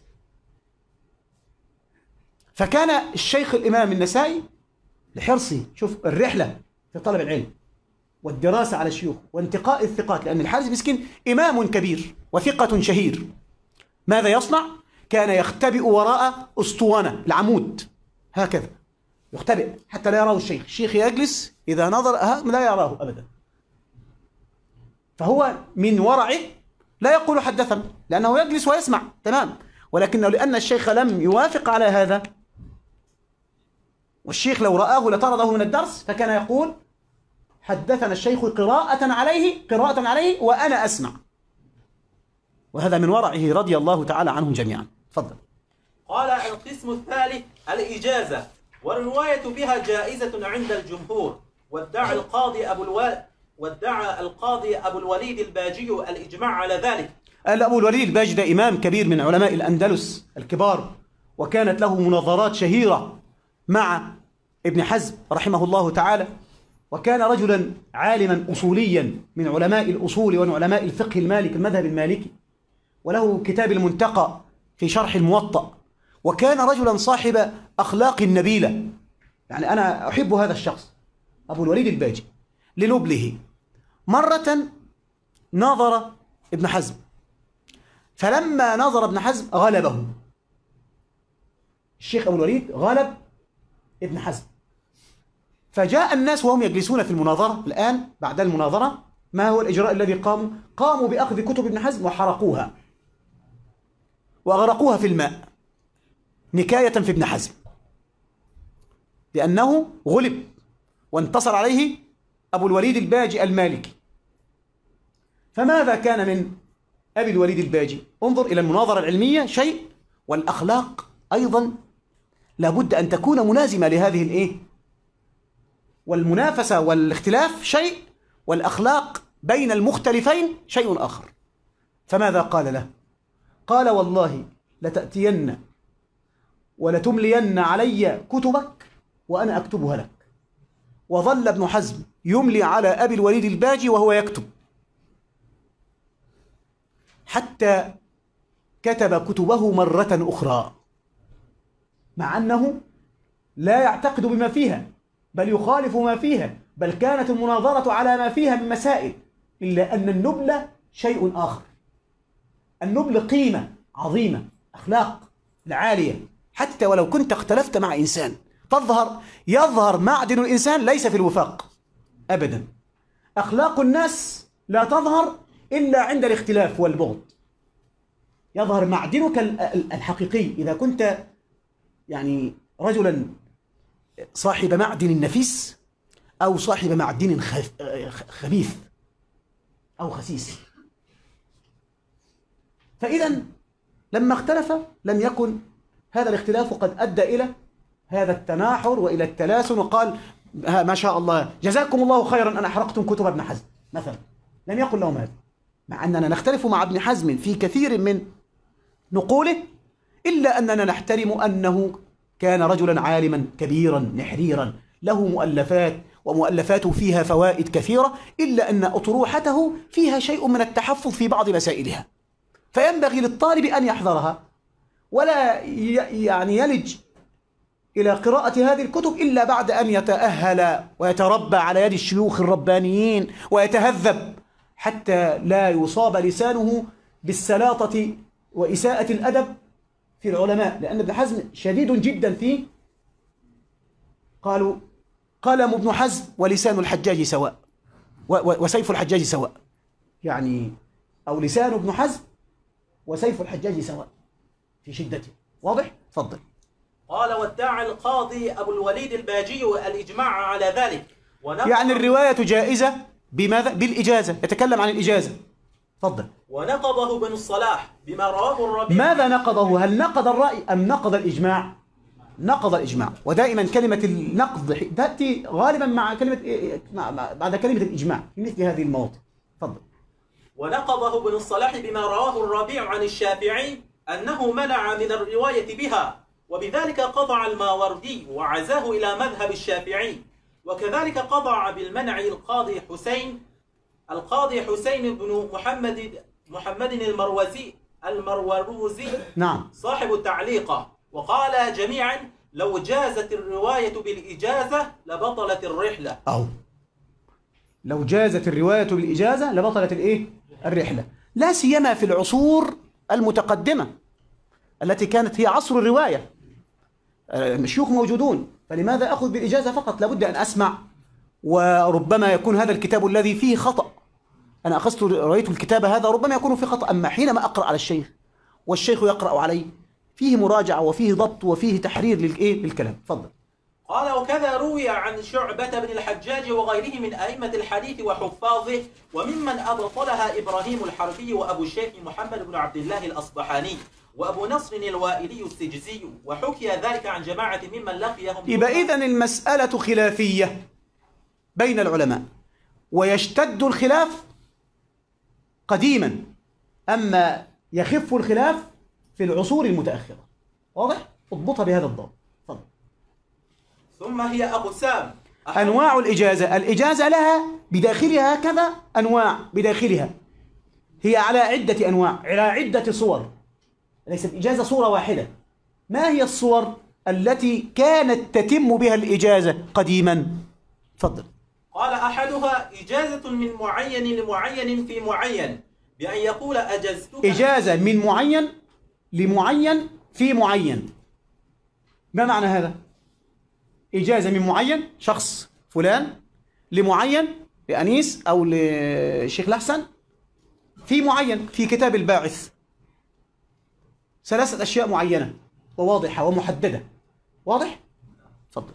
بأن يقول أجزتك أن تروي عني هذا الكتاب أو هذه الكتب؟ وهي وهي المناولة. فهذه جائزة عند الجماهير حتى الظاهرية لكن خالفوا في العمل بها لأنها في معنى المرسل عندهم إذ لم يتصل السماع. يعني على العموم في النهاية هم أخذوا بها وجعلوها كالحديث المرسل. لأن عدم الاتصال كأن حصل سقط. فجعلوه مرسلا. الثاني إجازة لمعين في غير معين. يعني أجزت المعين هذا أو هذا في غير معين. في كل كتبي. أو فيما رويت من كتبي. لم أحدد هذا الإيه؟ الكتاب. تفضل. مثل أن يقول أجزت لك أن تروي عني ما أرويه. كل ما أرويه. مم. أو ما صح عندك من مسموعاتي ومصنفاتي. وهذا مما يجوزه الجمهور أيضا رواية وعملا. نعم. الثالث الإجازة لغير معين. آه أجزت بقى شخص ليس شخصا معينا. أجزت لكل المسلمين. واضح؟ فهذا ليس معينا. ماذا صنع العلماء في هذا؟ مثل أن يقول أجزت للمسلمين أو للموجودين أو لمن قال لا إله إلا الله وتسمى الإجازة العامة. لذلك الشيخ في المجلس في المجالس الحديثية التي تعقد في الأزهر وغيره الشيخ لا يعرف كل الذين يجلسون أمامه أصلا. يقول أجزت كل الإيه؟ الحاضرين. فإجازة عامة ليست خاصة بشخص ولا يعرف فلانا كذا وكذا. وهذه لا تعطي تأهيلا ولا تعطي شهادة بأنك أصبحت من من نقاد الحديث وحفاظه. لا. هذه الإجازة فيها نوع انتساب وشرف للعلم. أنت تكمل بها طريقك. هذه شيء محفز. كأنها شيء محفز. جو علمي. كأنه وضع لك قضيبا كالقطار الذي يسير وأنت تسير عليه. وضع لك مسارا وقال لك هذا طريقك. وأنا أعطيتك إجازة حتى تكمل مسيرك في هذا في هذا الباب. واضح؟ أما أنت أن تأخذها بأنها شهادة بأنك من المختصين بعلم الحديث وتعقد مجالس سماع ورواية ووالله أعرف بعض الذين قد حصلوا على إجازات كثيرة جدا. ولا يضبطون حديثا واحدا مما يقرؤون. حديثا واحدا فقط مما يقرأ. كل ما أسمعه يقرأ أجد اللحن حريفا له ونصيرا له ومصاحبا له وصديقا له. فما فائدة العلم أصلا؟ هو ما أخذ مجموعة شهادات وإجازات بسرعة بسرعة بسرعة في سنتين وقرأ شيئا في المصطلح على شيء في الحديث وقرأ كم كتاب على المشايخ ثم انطلق ليجلس يعقد مجالس سماع ومجالس تحديث ومجالس كذا وكذا وكذا حتى صار يختم أسانيد وإجازات والشيء كذا وإسناده عالي جدا وهو والله في غاية شديدة من الجهل. نسأل الله السلام. هذه يعني أشياء أراها بعيني. وهذا واقع مر. الإجازة لا تعطيك لا تعطيك بابا من التحديث أو بابا من العلم تصير به أو شهادة بأنك صرت عالما. لا. الإجازة هي عنوان ودليل وصناعة جو علمي وتهيئة نفسية ودعم لك في طلب العلم. آه الإجازة إن أجازك الشيخ إجازة صريحة بأني أجزت الشيخ فلان الفلان بأن يقوم بالتدريس. خلاص. أما الإجازة العامة هذه لا تعطي هذا الشيء. أن يقوم بالتدريس وأنه صار مدرسا فاهما نابها يستطيع أن يدرس وأن يقرأ الكتب وأن يشرح الحواشي وأن يقوم بعمل التقريرات على الكتب. هذه لا هذه شهادة من العالم. خلاص. واضح؟ ولكن لا تكون عامة. لا أقول أجزت كل من هنا ليقوم من غد ليفتح درسا في الحديث. مصطلح. هذا عبث العلم. ولو صارت من إنسان لصار مجنونا. بهذا. واضح؟ فالعلم علم. إن, إن هذا العلم دين. تفضل. قال وقد اعتبرها طائفة من الحفاظ والعلماء فممن جوزها الخطيب من قد اعتبرها يعني أجازها البعض من الأهل العلم. ولكن ليست كدليل على علم من حصل على الإجازة بل سبيلا لتوصيل ما عنده من علم. واحفظ هذا. ليست دليلا على علم من حصل على الإجازة بل هي سبيل بل هي سبيل لإيه؟ لتوصيله ما عنده من علم حتى لا تنقطع سلسلة السنة بس فقط واضح؟ تفضل قال ونقلها عن شيخه القاضي أبي الطيب الطبري ونقلها أبو بكر الحازمي عن شيخه أبي العلاء الحمذاني الحافظ وغيرهم من محدثي المغاربة رحمهم الله. اقرأ يا شيخ أحسن كده يساعدك الشيخ الأحسن شوية يا شيخ. تفضل. قال وأما الإجازة للمجهول أو بالمجهول ففاسدة وليس منها ما يقع من الاستدعاء يعني لا تحتاج إلى بيان. مجهول بمجهول. ما لا أعلم من هو الذي سيجاز والشيء الذي سنجيزه لا نعلم ما هو أصلا الذي سيجاز به. ماذا نصنع؟ وليس منها ما يقع من الاستدعاء لجماعة مسمين لا يعرفهم المجيز آه ليس من هذه الصورة الغير معتبرة أننا الآن أحيانا نجلس الآن.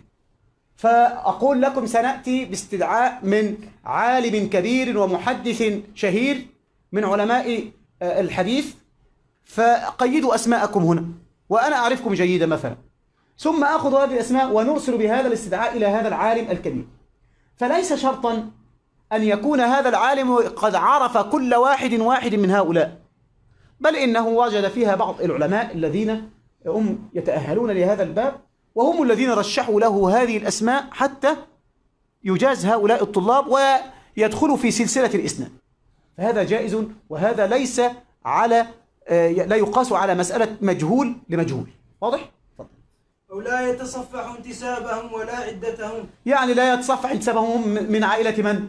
هو فلان ابن فلان ابن فلان ابن من؟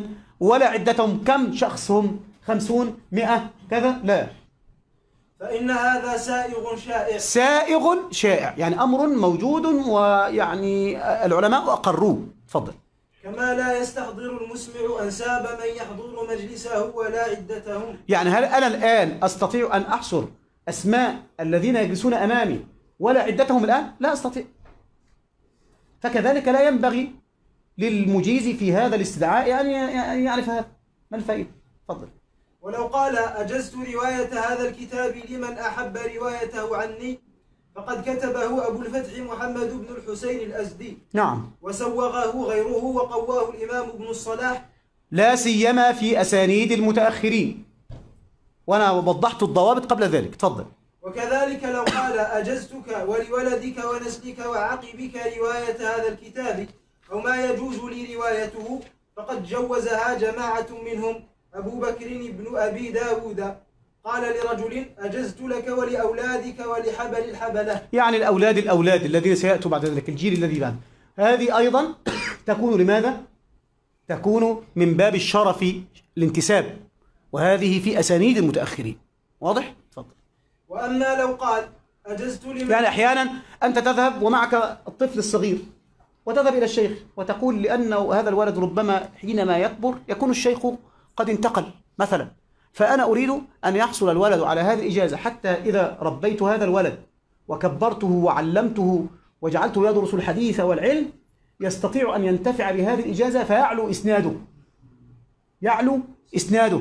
فيكون قد روى عن علماء أو بعض العلماء الأكابر الذين لم يدركهم أقرانه ممن لم يتنبه آباؤهم كما تنبهوا فهذه فائدة. ولذلك تجد أن الشيخ عبد الحي الكتاني أسانيد أولاده عالية جدا. لماذا؟ لأنه كان وهو يحصل على الإجازات يأخذ الشيخ عبد الرحمن بن عبد الحي الكتاني معه في المجلس ويأتي له بإجازة له ولولده وله ولولده فأصبح ولده يجي يروي عن بعض شيوخ أبيه.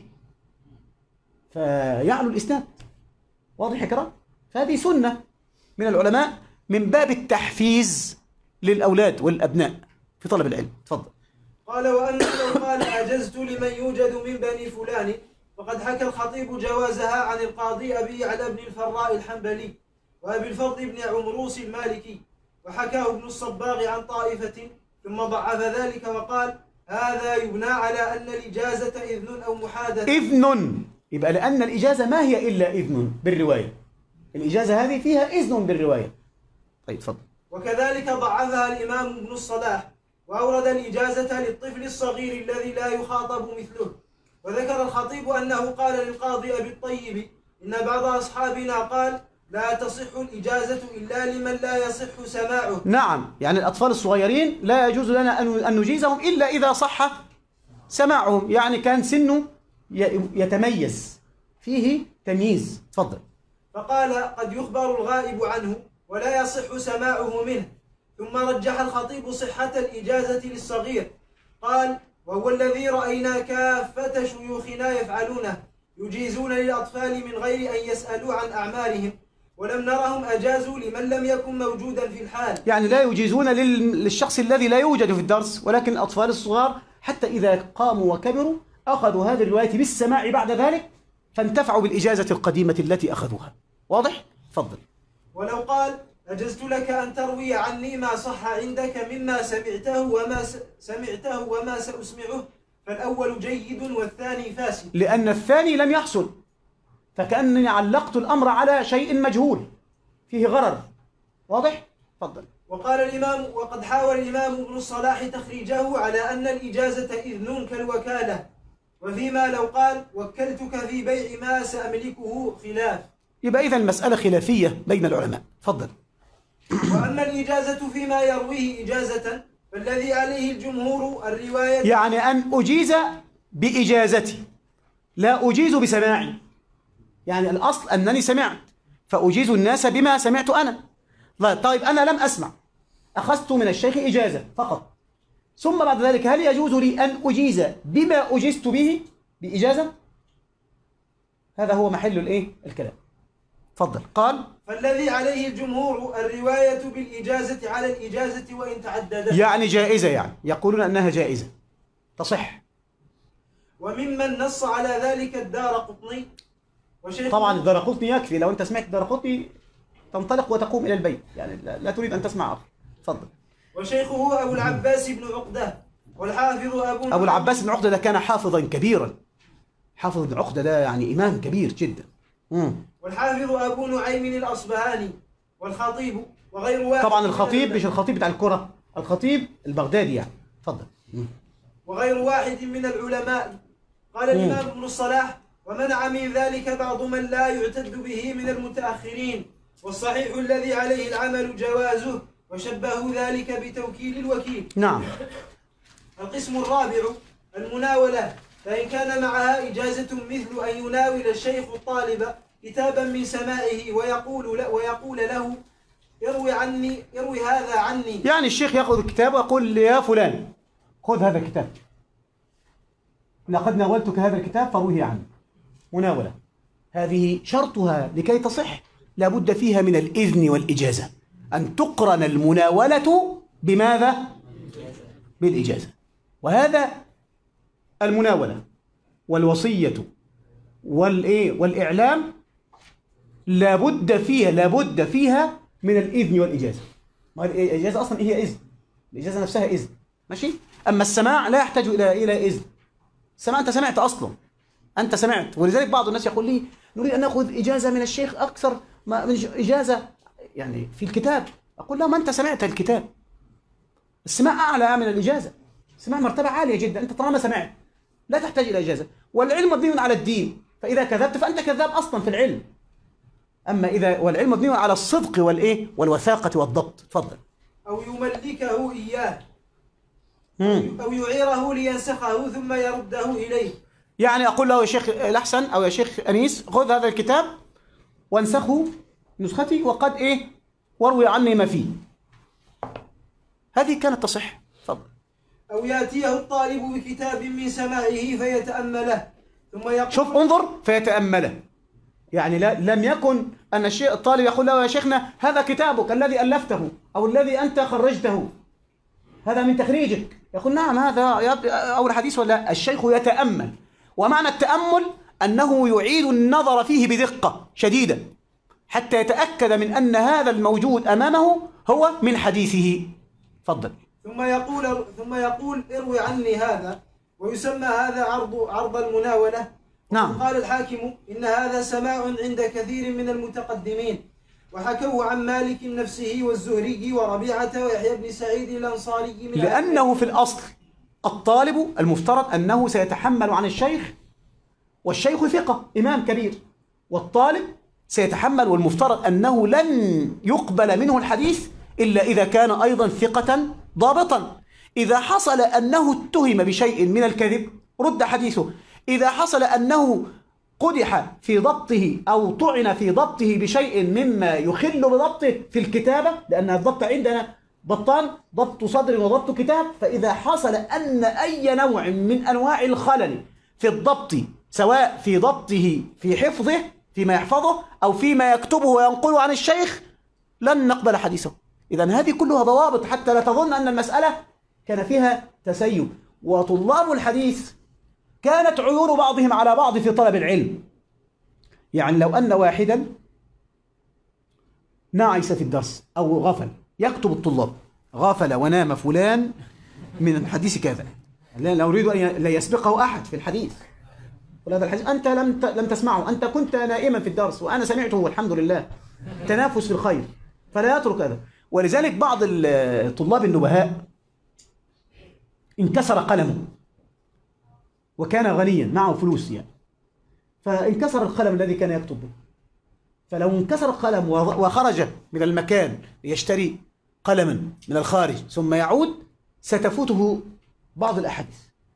فبذكائه أراد أن يوقف الدرس أو أن يوقف الطلاب جميعا حتى لا يكتبوا زيادة على ما كتب. فكان هناك القلم بقليل جدا. يعني لا يساوي عش مثلا عشرة أقلام بدرهم. فقال من يبيعني أي قلم بدينار. مش بدرهم. طبعا الدينار معروف أكبر من الدرهم فألقيت عليه الأقلام من كل جانب. طلاب فقراء ليس معهم. ويبيع القلم هذا يشتري به عشرة أقلام بدرهم والباقي يأخذ يأكل ويشرب ويدفع إيجار السكن وكذا. قال كله ألقى عليه الأقلام حتى يستطيع أن يكتب معهم. هذا ذكاء موجود ونقول. تفضل.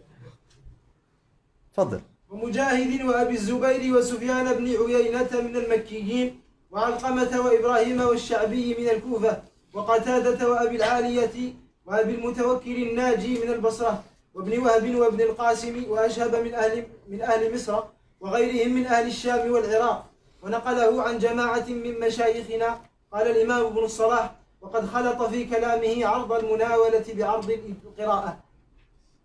ثم قال الحاكم والذي عليه يعني بعضهم خلط بين عرض المناولة المناولة أنني أقول أق- أعطيك هذا الكتاب وأقول لك اقرأ هذا الإيه؟ الكتاب. أو أن تأتي أنت أنت بالكتاب الذي أنا أقرأته في مجالس قبل ذلك وتقول لي يا شيخ هذا الكتاب من حديثك فأتأمله كما قلنا من قبل.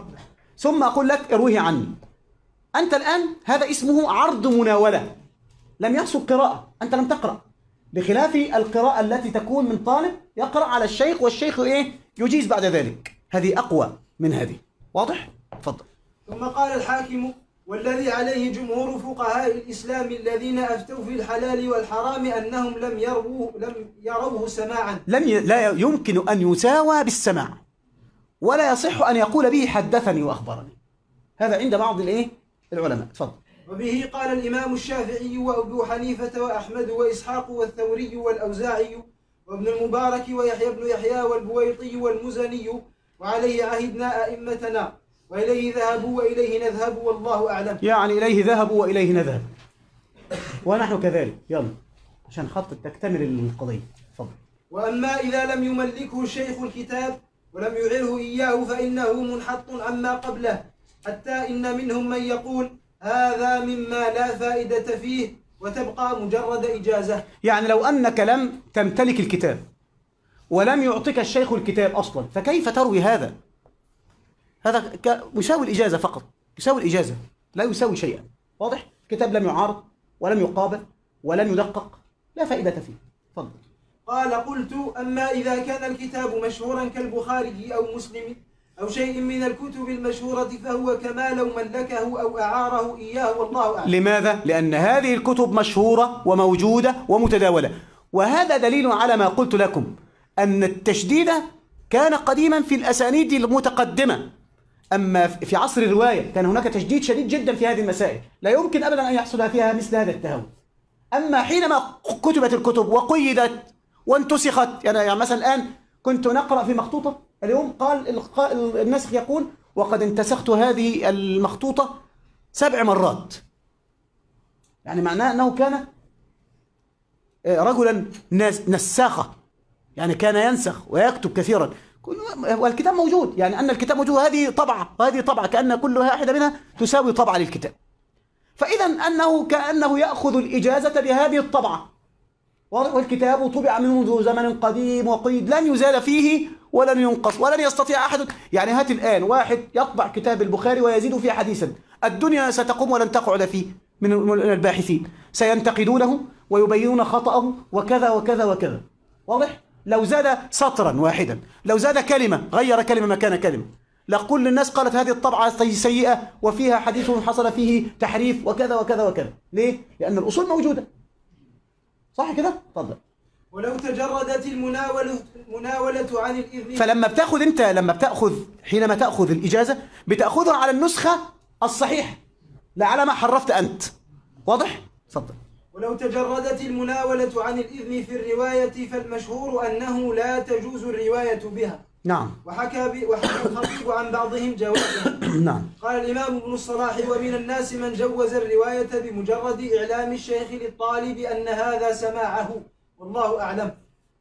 ويقول الراوي بالإجازة أنبأنا فإن قال آه يعني كلمة أنبأنا غالبا ما يطلقها بعض العلماء في الإجازة. يقول أنبأنا. ولكن بعض العلماء جوز في زمن متأخر أن تقول أخبرنا ولكن تضيف إليها كلمة إجازة. تقول أخبرنا إجازة. حدثنا إجازة مثلا. ولكن كلمة أخبرنا أولى لأنها كالعرض. تفضل. فإن قال إجازة فهو أحسن. ويجوز أنبأنا وحدثنا. عند جماعة من المتقدمين. نعم. وقد سلف النقل عن جماعة أنهم جعلوا عرض المناولة المقرونة بالإجازة بمنزلة السماع. المناولة المقرونة بإيه؟ بالإجازة. لا بد مع هذا كأنها لا تسير إلا بها. لو كانت غير بغيرها سقطت وقعت. واضح؟ فاحفظ هذا يعني. نجعلها أن هذه الأشياء بغير السماع الصريح والقراءة على الشيخ بعد ذلك كل والمكاتبة لأن المكاتبة فيها خط الشيخ فهذا فيها تأكيد وفيها خطاب مباشر لي ولك. أما بعد ذلك لابد فيها من الإيه؟ الإذن. وحتى بعض العلماء اشترط أيضا في المكاتبة الإذن. ولكن الإذن هذا مهم جدا حتى يحصل فيها نوع اختصاص. يحصل فائدة الإذن أنه يحصل فيه نوع اختصاص للطالب بهذا الكتاب. تفضل. فهؤلاء يقولون حدثنا وأخبرنا بلا إشكال. والذي عليه جمهور المحدثين قديما الذي عليه جمهور المحدثين. الراجح إيه؟ في المسألة. ما هو الراجح؟ المعتمد. الذي عليه نسير. وإليه نأوي. في المعتمد في هذا الكلام. تفضل. أنه لا يجوز إطلاق حدثنا ولا أخبرنا بل مقيدا. وكان الأوزاعي يعني لا تقول حدثنا وأنت أخذتها إجازة فقط. ولا أخبرنا وأنت أخذتها إجازة فقط. هذا فيه نوع تدليس. تقول حدثنا إجازة أخبرنا إجازة لأنك إذا أطلقت حملت على أعلى صورة وهو السماع. فإذا هذا فيه نوع تدليس ولذلك دائما أنا وكنت أحرر الإجازات في بعض المجالس لابد أن أكتب سماع شيوخنا أقول حدثنا فلان قال إجازة هو الذي أخذه إجازة. أنا ننبه أنه ما أخذ هذا الكتاب بالسماع أخذه بالإجازة. أخبرنا إجازة. حتى نحدد نوع هذا التلقي. واضح؟ أو سمعت منه بعض الكتاب وفي وفيه فوت. أو سمع الكتاب من شيخه فلان أو سمع الحديث الأول والحديث الأخير. والباقي إجازة. يعني سمع الأول والأخير من الكتاب. والباقي إجازة. فالإجازة تجبر هذا الإيه؟ هذا التقصير. تفضل. وكان الأوزاعي يخصص الإجازة بقوله خبرنا بالتشديد. وهذا مذهبه. مذهبه هو. فإذا قرأت في كتب الأوزاعي أو فيما نقل عنه من أقوال تعلم أن هذا مذهب الأوزاعي تفضل. القسم الخامس المكاتبة. بأن يكتب إليه بشيء من حديثه فإن أذن له في روايته عنه فهو كالمناولة المقرونة بالإجازة نعم أو إن أذن. يبقى إذا مع الكتابة في ماذا؟ مكاتبة. الرسائل التي بين العلماء يرسل إليه رسالة. الليث يبعث إلى الإمام مالك والإمام مالك يبعث إلى الليث. رسالة. الجويني يبعث أيضا رسالة. ومع ذلك يكتب فيها بعض الأسانيد التي تلقاها بأسانيده. واضح يا كرام؟ طيب تفضل. وإن لم يكن معها إجازة فقد جوز الرواية. إن لم يكن معها إجازة كما قلت لكم يجوز عند البعض. فقد جوز الرواية بها أيوب ومنصور والليث وغير واحد من الفقهاء الشافعية والأصوليين. طبعا الشافعية يعني يأخذون نصيب الأسد في كتب المصطلح. معروفة يعني ما شاء الله يعني لهم سبق. وهو المشهور الحنفية طبعا وال- والمالكية برضه عشان والحنابلة عشان ما يزعلوا تفضل. وجعلوا ذلك أقوى من الإجازة المجردة وقطع الماوردي بمنع ذلك والله أعلم. وجوز الليث ومنصور في المكاتبة أن يقول أخبرنا وحدثنا مطلقا والأحسن الأليق تقييده بالمكاتبة. كل ما كان الكلام واضحا ومنضبطا ومبينا لواقع الرواية يكون أفضل وأحسن وأقعد. واضح؟ القسم السادس إعلام الشيخ أن هذا الكتاب سماعه من فلان من غير أن يأذن له في روايته عنه. يعني يقول هذا الكتاب أنا سمعته من فلان ولكنه لم يأذن لي. طيب سماع سماعك للحديث ليس دليلا على قوتك العلمية. فربما أنت تأتي وتجلس مثلا الآن درس في العلوم العقلية ولكنك لم تفهم ولا كلمة. يشرح الأشكال مثلا في المنطق يشرح التصديقات وشرح الأشكال وأنت لم تفهم ولا حرف من الأشكال. الشكل الأول ولا الشكل الثاني ولا الثالث ولا الرابع. ولم تفهم شيئا وأنت جلست. ثم أخذت إجازة بالمنطق وخرجت. ما فائدة هذه الإجازة؟ لن تفيد. فبعضهم كان يسمع والشيخ لا يجيزه لأنه لم يرى أنه قد تأهل أن هذا السماع لم يفيد شيئا لم يستفد شيئا. فاختلفوا لو أنك سمعت الدرس من الشيخ هل يجوز لك أن تروي هذا السماع أم لا؟ ترويه يعني أصبحت تتصدر لتحدث الناس. أما سماعك أنت من الشيخ هذا أعلى مقامات الرواية. أصلا أنت سمعت خلاص من الشيخ. واضح؟ أما كونك تنقل إلى غيرك هذا يحتاج إلى إذن أم لا؟ فيه خلاف بيننا تفضل. فقد سوغ الرواية بمجرد ذلك طوائف من طوائف من المحدثين والفقهاء. يعني سوغوا من غير أن يأذن. لا يحتاج إلى إذن. لأنهم قالوا أن السماع أعلى رتبة. فلا يحتاج إلى أن تقول أنا سمعت. هل أنت كذبت؟ للطلاب؟ يعني أنا تقول والله سمعت شيخنا قال كذا وكذا وكذا ولم يأذن لك. هل أنت كذبت على الشيخ؟ لن تكذب. أنت نقلت الواقع. والمفترض أنك ثقة. يعني لن تكذب. تفضل. منهم ابن جريج وقطع به ابن الصباغ واختاره غير واحد من المتأخرين حتى قال بعض الظاهرية لو أعلمه بذلك ونهاه عن روايته عنه فله رواية. يعني حتى لو أعلم الشيخ وقال له أنا هذا كتابك الذي سمعته منك وأنا سأرويه فقال له إيه- إياك أن تفعل. لا تفعل هذا. لا أحلك في هذا. لا أجيزك في هذا. فلو فعل جاز. قال كما لو نهاه عن رواية ما سمع هذا قياس على المسألة السابقة.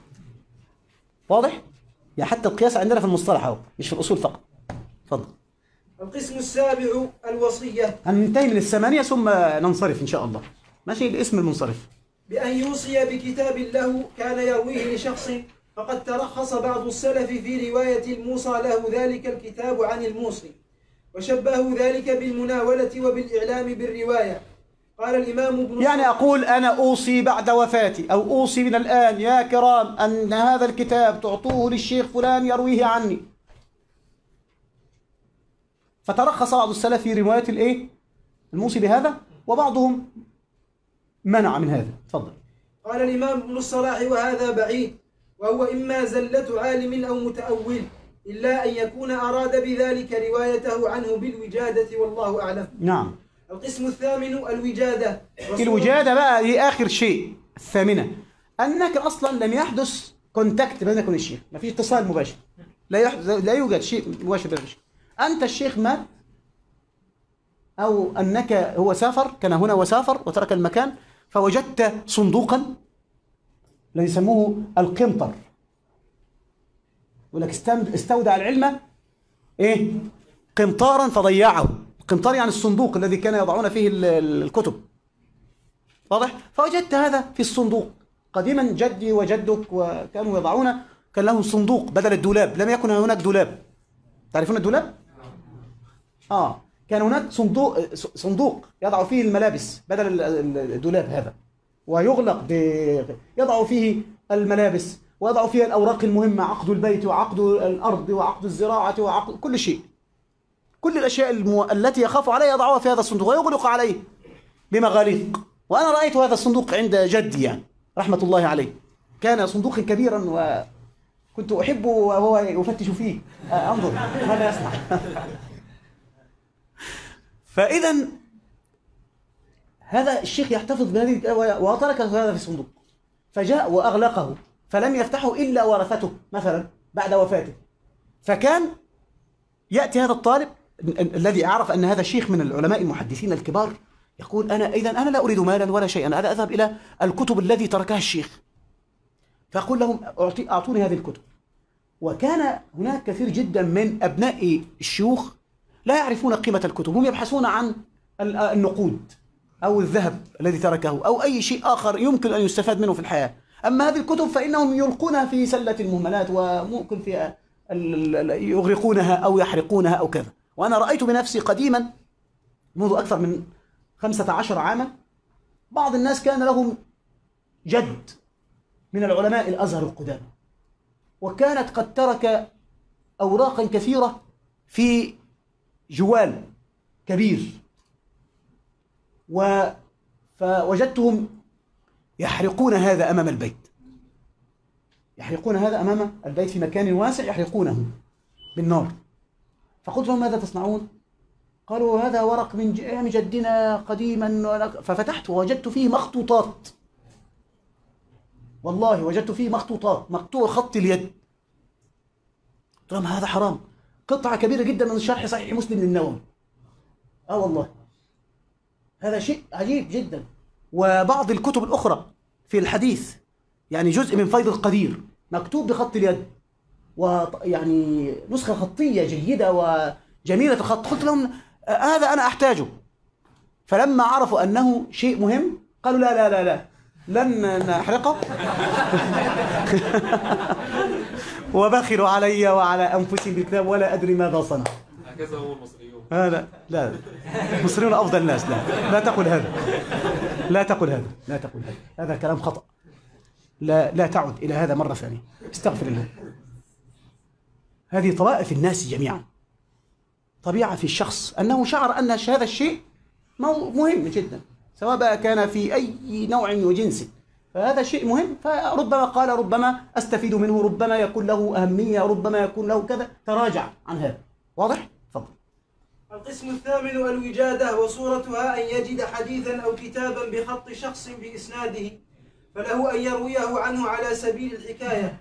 فيقول وجدت بخط فلان حدثنا فلان ويسنده ويقع هذا كثيرا في مسند الإمام أحمد. يقول ابنه عبد الله وجدت بخط أبي حدثنا فلان ويسوق الحديث وله أن يقول قال فلان إذا لم يكن فيه تدليس يوهم اللقي. قال الإمام ابن الصلاح وجاز وجاز فبعضهم فأطلق فيه حدثنا أو أخبرنا.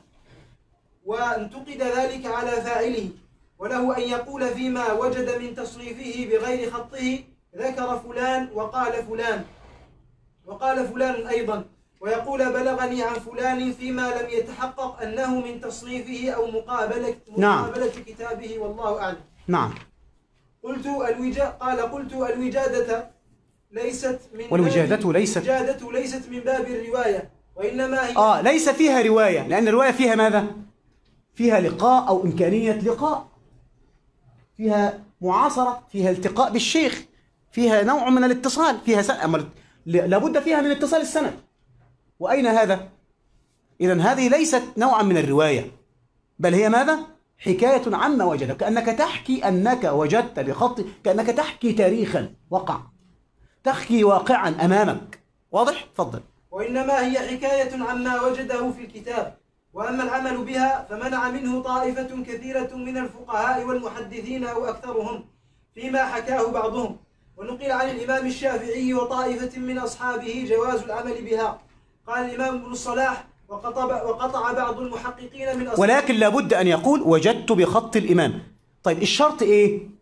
الشرط إيه؟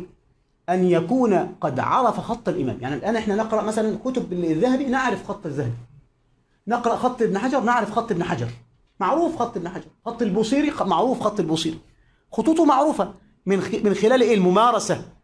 الإيه ل- لهذه الخطوط. وعلماء التحقيق الآن اللي هم علماء تحقيق النصوص يعرفون هذا. حتى أصبحت الآن المداد نفسه المداد اللي هو الحبر الذي يكتب به يعني المداد قريب من الحبر. هو يعني يعرف هذا المداد من القرن السابع من القرن الثامن من القرن السادس. نوع الورق يعرف أيضا. كل هذا يعرف اللي هي علم كامل يعني وصف الوعاء الذي يكون فيه النص هذا علم قائم. خدمة النص هذا علم آخر. واضح يا كرام؟ تفضل. وقطع بعض المحققين من أصحابه في الأصول بوجوب العمل بها عند حصول الثقة به. قال الإمام ابن الصلاح وهذا هو الذي لا يتجه غيره في الأعصار المتأخرة لتعذر شرط الرواية في هذا الزمان. يعني فلم يبق إلا مجرد وجادات. نعم. قلت قال قلت وقد ورد في الحديث عن النبي صلى الله عليه وسلم أنه قال أي الخلق أعجب إليكم إيمانا؟ قالوا الملائكة. قال وكيف لا يؤمنون وهم عند ربهم؟ وذكروا الأنبياء. قال وكيف لا يؤمنون والوحي ينزل عليهم؟ قالوا فنحن فنحن. قال وكيف لا تؤمنون وأنا بين أظهركم؟ قالوا فمن يا رسول الله؟ قال قوم ياتون من بعدكم يجدون صحفا. يجدون يجدون. اهي الدليل اهو كلمة يجد من وجد. مم. يجدون صحفا وصحفا يعني هي كتب. تفضل. يؤمنون بما فيها. وقد ذكرنا الحديث بإسناده ولفظه في شرح البخاري. ولله الحمد فيؤخذ منه مدح من عمل بالكتب المتقدمة لمجرد الوجادة لها. والله أعلم. وفي مسند الإمام أحمد لو أنت قرأت في مسند الإمام أحمد لوجدت أن الإمام أحمد رحمه الله تعالى في هذا الكتاب ابنه عبد الله يقول وجدت بخط أبي. لو بحثت أنت حتى عن هذه الكلمة في المسند تجد كثير جدا من الإيه؟ من هذه الرواية. وقام أحد العلماء المعاصرين بجمع هذه الوجادات التي حصلت في مسند الإمام أحمد وطبعها في كتاب مستقل موجود حتى في في دور النشر. أنا عندي نسخة من هذا الكتاب. اللي هو إيه؟ الوجادات في مسند الإمام أحمد. رسالة موجودة. حصل كل الأحاديث الروايات الموجودة في مسند الإمام أحمد وجمعها في مكان واحد. هذا يدل على ماذا؟ أن هذا كان معهودا وموجودا. طبعا عبد الله ابن الإمام أحمد أصلا له رواية وسماع. له رواية وسماع. من أبيه. صح ولا لا؟ يعني لم يسمع أبوه. سمع أبوه. سمع والده. سمع أباه وروى عنه جل الروايات كلها أصلا من روايات عبد الله وابنه صالح أيضا وغيرهم. القضية أنه أحيانا ربما في أشياء لم يسمعها من أبيه ولكنه يعرف خط الوالد. هو حد لا يعرف خط أبوه؟ لا شيء عجيب جدا يعني. فهو يعرف خط والده جيدا. فلما ترك والده هذه الأوراق ومكتوبة حدثنا فلان قال حدثنا فلان قال حدثنا فذكرها في كتابه. هكذا فتسمى من الوجادات في مسند الإمام أحمد وبعض العلماء حاول أن يخرج هذه الإيه الروايات حتى يذكر لها الروايات والمتابعات والشواهد الأخرى التي تبين أنها روايات صحيحة كنفس روايات المسند الموجودة بالسماع المباشر من عبد الله لأبيه الإمام أحمد واضح؟ خلاص كده؟ والله أعلى وأعلم وأعز وأكرم وصلى الله وسلم وبارك على سيدنا محمد وعلى آله وصحبه وسلم. بس يا شيخ.